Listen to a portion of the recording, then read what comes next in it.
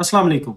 Welcome to Codenix 90 days के English speaking course के day 12 में आज हम देखेंगे कि सेंटेंस स्ट्रक्चर में सब्जेक्ट जो है, उसको हम किस तरीके से आइडेंटिफाई करते हैं। उसके लिए हमें कुछ सेंटेंसेस को देखना होगा तो विदाउट वेस्टिंग आवर टाइम हम अपने लेक्चर की तरफ़ मूव करते हैं।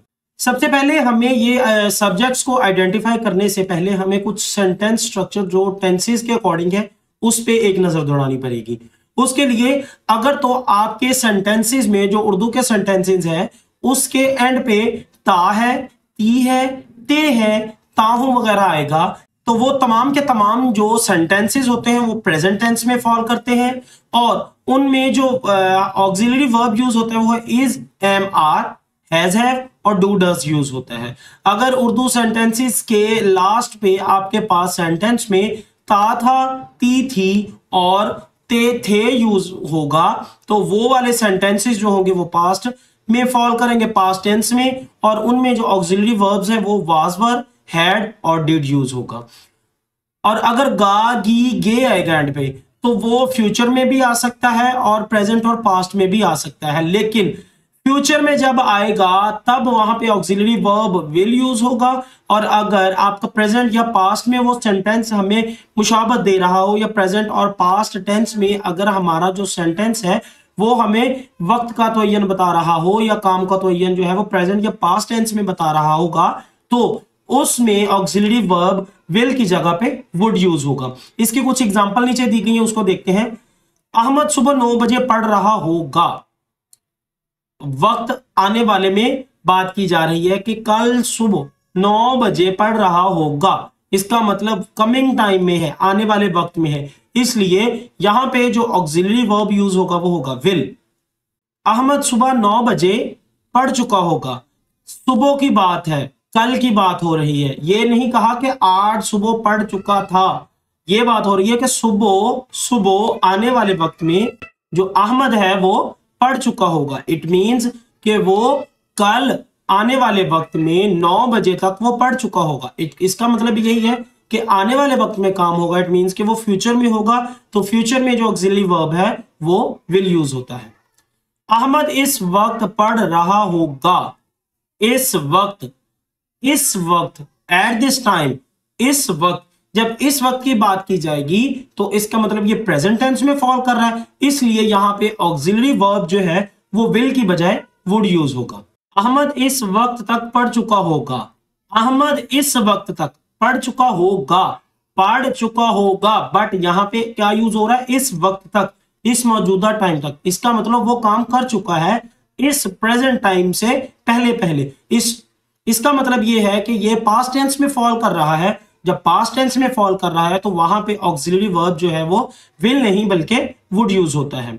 वो आ जाएगा, आएगा आएगा। अभी ना तो काम कंप्लीट हुआ है, ना वो काम इस वक्त पे हो रहा है बट कमिंग टाइम पे वो काम होगा। इट मीन्स कि वो आज आएगा। इसके लिए यहाँ पे विल यूज़ होगा।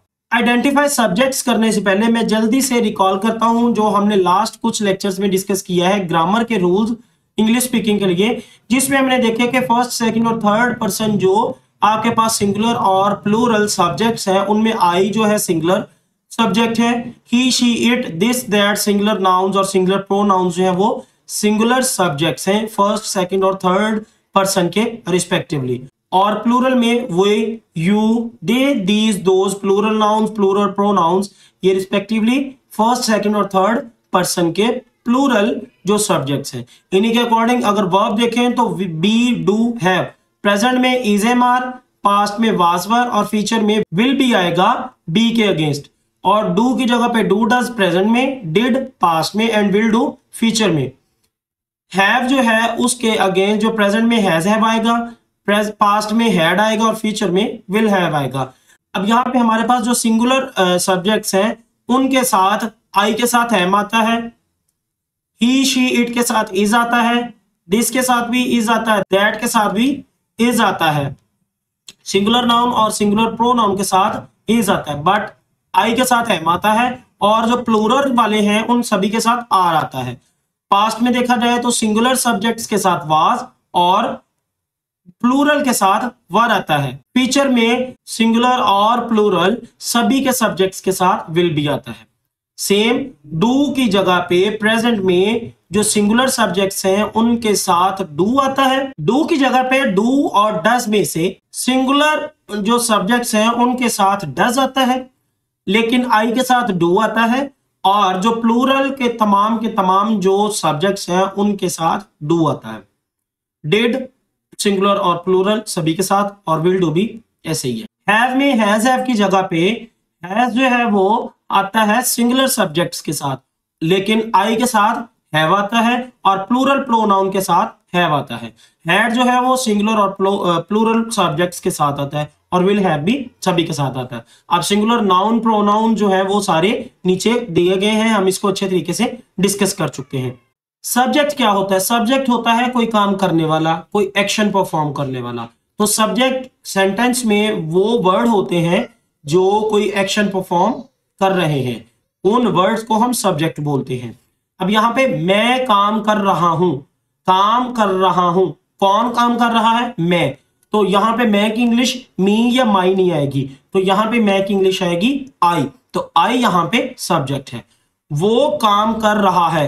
कौन काम कर रहा है? वो। वो जो है, रहा है, आ रहा है। इसका मतलब किसी मेल जेंडर की बात हो रही है। तो मेल के लिए जो सिंगुलर सिंगुलर प्रोनाउन जो होता है या सिंगुलर सब्जेक्ट जो होता है थर्ड पर्सन उसको हम बोलते हैं ही तो ही यहाँ पे आएगा एज अ सब्जेक्ट मैं और वो काम कर रहे हैं। मैं और वो क्या कर रहे हैं? काम कर रहे हैं। इट मींस मैं और वो आई एंड ही तो यहाँ पे आ जाएगा प्लूरल सब्जेक्ट यहाँ पे आई एंड ही आएगा एज अ सब्जेक्ट मेरा भाई सो रहा है। सो रहा है। कौन सो रहा है? माई ब्रदर मेरा भाई। तो यहाँ पे my brother is a subject तुम्हारा दोस्त रोज़ाना स्कूल जाता है। काम क्या हो रहा है? रोज़ाना स्कूल जाना। कर कौन रहा है? योर फ्रेंड तो यहाँ पे तुम्हारा दोस्त your friend as a subject आएगा अहमद के पास पैसे नहीं है। किसके पास पैसे नहीं है? काम हो रहा है। तो यहाँ पे किसके पास नहीं है? इट मींस अहमद के पास नहीं है। हम यहाँ पे बोल देंगे हिज ब्रदर, उसके भाई के पास पैसे नहीं है। हिज ब्रदर उसका भाई, उसके भाई के पास पैसे नहीं है। पैसे किसके पास नहीं है? उसके भाई के पास। उसका भाई जो है वो एज अ सब्जेक्ट है। तो उसके भाई की इंग्लिश क्या होगी? हिज ब्रदर उस लड़के की बहन आई थी। उस लड़के की, उस लड़के की आई थी। कौन आया था? बहन आई थी। किस लड़के की? उस लड़के की। उस लड़के की। तो यहाँ पे जो सब्जेक्ट आएगा वो होगा दैट बॉयज़ सिस्टर उस लड़के की सिस्टर बहन। इन किताबों में कुछ है। इन किताबों में ये आएगा एज अ सब्जेक्ट क्योंकि इन किताबों में है जिसमें वो काम हो रहा है, जिसपे वो एक्शन परफॉर्म हो रहा है। तो इट मींस इन किताबों में दीज बुक्स वर्क है, ये एक्शन परफॉर्म हो रहा है। हसन की वजह से मैं नहीं गया। हसन की वजह से मैं नहीं गया। अब ये थोड़ा सा कॉम्प्लेक्स सेंटेंस है। इसमें आपने सब्जेक्ट को फाइंड करना है। अब देखिए, हसन की वजह से मैं नहीं गया। पहले बताई गई है वजह। मतलब पहले एक्शन परफॉर्म हो रहा बताया गया है। उसके बाद बताया गया कौन काम कर रहा है। इट मींस मैं नहीं गया। मैं नहीं जाना, काम करना। नहीं जाना वो काम है। जो एक्शन परफॉर्म नहीं किया गया। मतलब वो नेगेटिविटी में है। नेगेटिव सेंटेंस है। कौन काम कर रहा है ये? नेगेटिव सेंटेंस में। नेगेटिव सेंस में कौन काम कर रहा है? वो है मैं। हसन की वजह से नहीं गया। कौन नहीं गया? मैं। तो यहाँ पे जो सेंटेंस में सब्जेक्ट है वो है मैं। और मैं की इंग्लिश क्या है? आई तो इस तरीके से हम डिफरेंट सेंटेंसेस में से सब्जेक्ट को आइडेंटिफाई करते हैं। ज़रूरी क्या है? जो आपने फ़र्स्ट पर्सन सेकंड पर्सन और थर्ड पर्सन सब्जेक्ट्स के सिंगुलर और प्लूरल जो आपने देखे हुए नाउन प्रोनाउन वगैरह उनको आपने मद्देनजर रखना है और उनके अकॉर्डिंग जो आपके पास ऑक्सिलरी वर्ब्स हैं, उनका जो use according to first second and third person use होगा, उसको आपने माइंड में रखना है। इस तरीके से आपको सब्जेक्ट्स जो है वो आइडेंटिफाई करने इजी रहेंगे।